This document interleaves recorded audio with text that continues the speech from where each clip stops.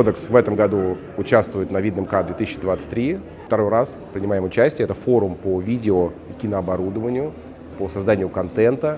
В этом году Годекс стал генеральным партнером мероприятия, потому что достаточно профессиональная аудитория сюда приходит. И у Годекса появилось очень много приборов для видео, кино и телевизионного освещения. То есть достаточно большой уже ассортимент и недостаточно обычных там каких-то площадей.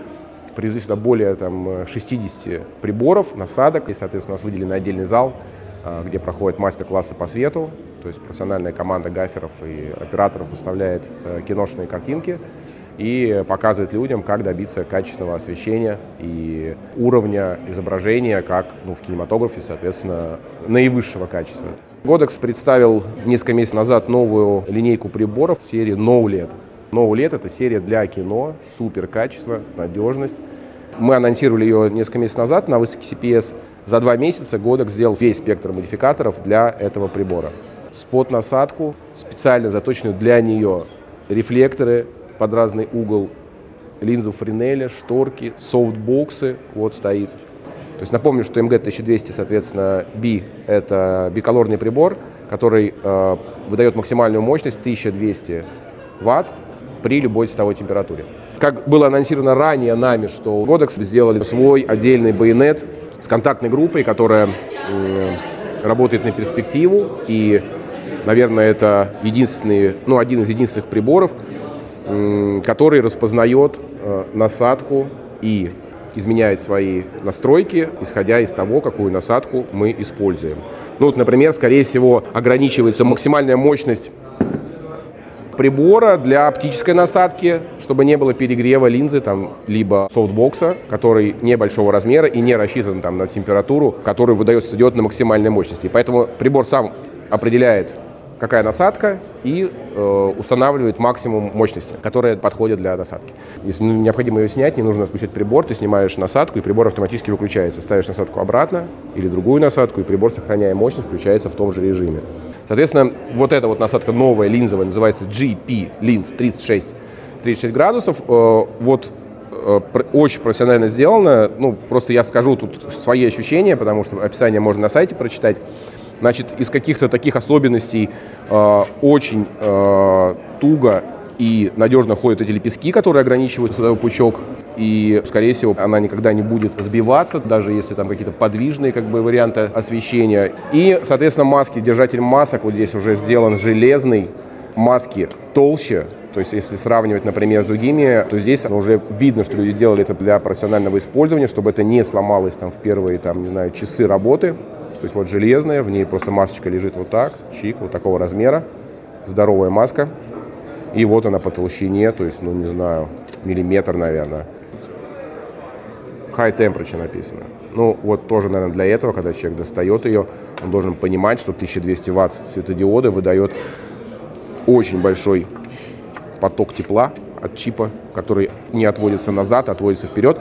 Вот. И держатель тоже здесь, соответственно, подпружиненные, скорее всего, стоят э, каленые пружины, которые фиксируют это дело, и сюда можно поставить две маски, то есть одну и вторую. И сделали еще страховку прибора, то есть обычно там как-то подгриповывают, чтобы она не э, упала или там, либо что-то не ослабился кронштейн. И здесь, соответственно, вот в этот слот, он вот так вот разблокирует, ну это где стандартная лира у него идет, сюда вот этот от насадки, этот кронштейн закрывается и дополнительно страхуется вот эта вся система в сборе получается такой монолит.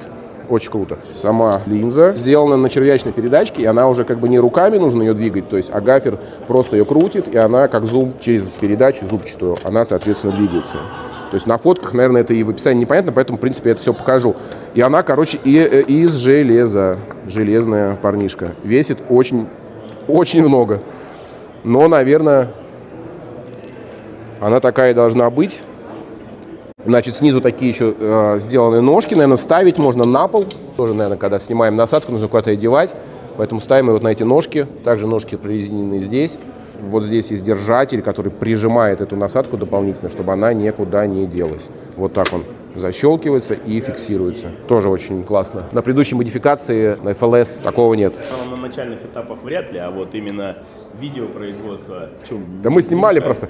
Да нет, снимали. У вас онлайн? Да. А, ну привет, всем привет. Особенность зала в том, что у нас представлена здесь замечательная компания Budox, которая очень широко представлена в России. Я не знаю, наверное, больше света, чем они не делает никто на континентальном Китае. То есть такого не существует. Про прибор э, NoLED и серию мы вот рассказали, да, что очень качественную насадку оптическую произвел Godox. И вот много всяких полезных деталей в ней э, для реальных профессионалов. И все вот мелочи, это очень важно в этом деле. То есть просто сделать прибор недостаточно. Надо, чтобы было удобно им пользоваться. Он был надежный и относительно мобильный. Поэтому вся линейка вот этих аксессуаров э, для NoLED MG, она вся идет в кофрах, и то есть сразу решается вопрос хранения, транспортировки. Но это как бы на самом деле очень важно, потому что это все дело нужно возить. Вот, значит, э, френель. Э, ну, тоже по фоткам он кажется обычным френелем, вот как на NoLED 600. Вроде бы по фотографии одно и то же, если смотреть. Но здесь у нас сделано все из пластика, облегченная версия, потому что всего 600 ватт. И, соответственно, жаростойкий пластик, это все нормально для этой модели. Здесь, соответственно, уже э, так как температурка тут, дай боже, э, вот произвел такую вот реально здоровую френелину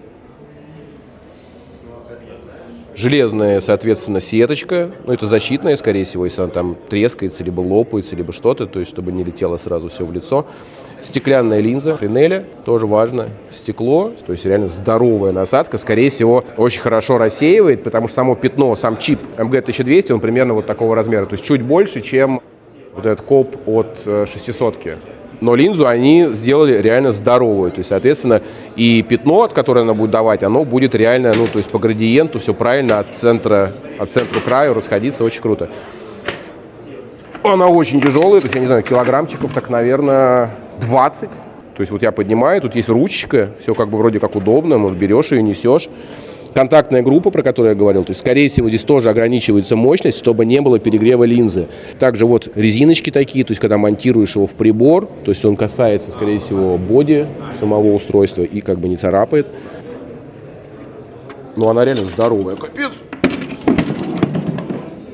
Вот, шторки, соответственно, от, от, отскакивают вот так. Они продаются отдельно. Также для них существует кофр для переноски который Godox отдельно, по-моему, продает для шторки для этой.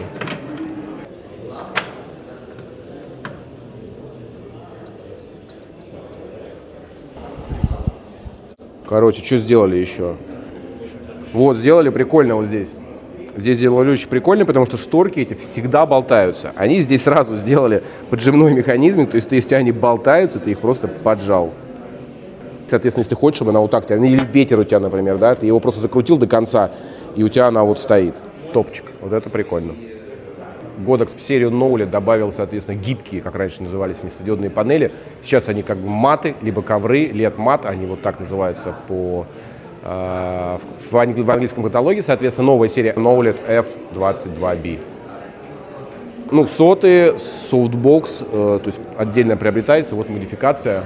Соответственно, естественно, она будет в разных размерах, квадрат, наверное, стрип, модель FL150, которые Godox овские предыдущие версии, то есть они остаются в ассортименте и продаются также для видеосъемки. Это все KNOWLED, это все кино. Кино и телевизионное осветительное оборудование.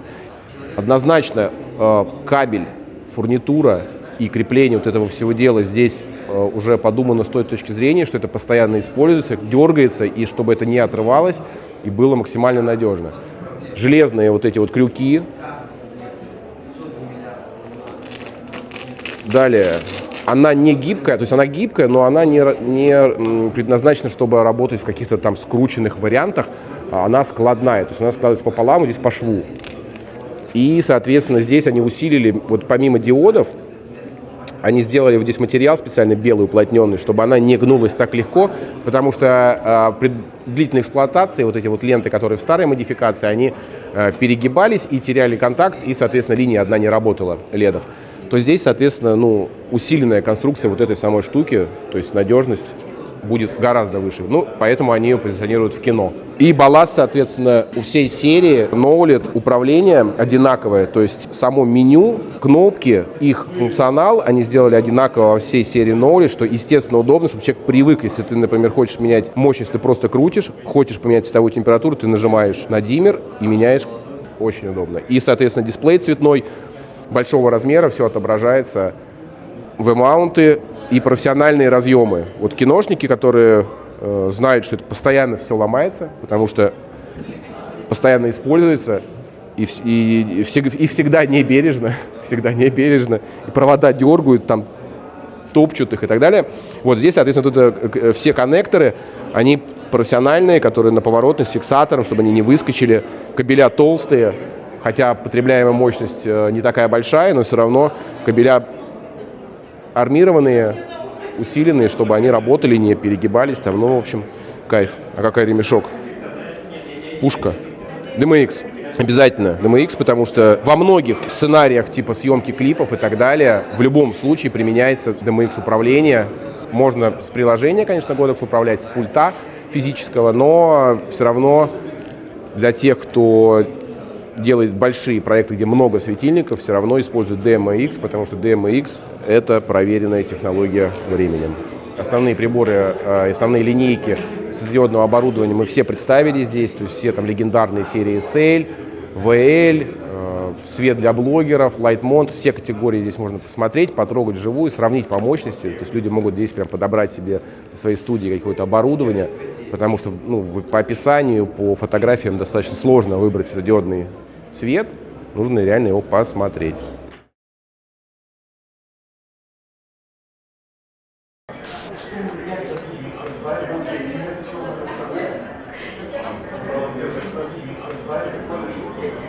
А, ты видео снимаешь?